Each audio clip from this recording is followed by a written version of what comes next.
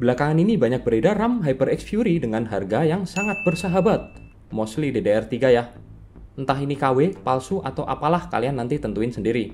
Di sini saya mau bandingin dengan RAM HyperX Fury asli keluaran awal-awal generasi DDR3. Kilas nampak sama ya? Oke, sekarang kita akan zoom in lebih detail. Pertama, warna birunya beda guys. Kedua, tulisan di label spesifikasi juga berbeda. Plus yang dulu ada emboss HyperX yang terlihat samar di kondisi cahaya tertentu. Cetakan dan lubang di head spreadernya pun agak berbeda, yang dulu lebih rapi. Thermal tape di dalam head spreader yang dulu lebih tebal dan warnanya hitam.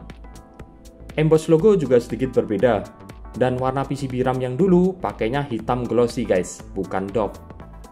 Jadi gimana nih menurut kalian?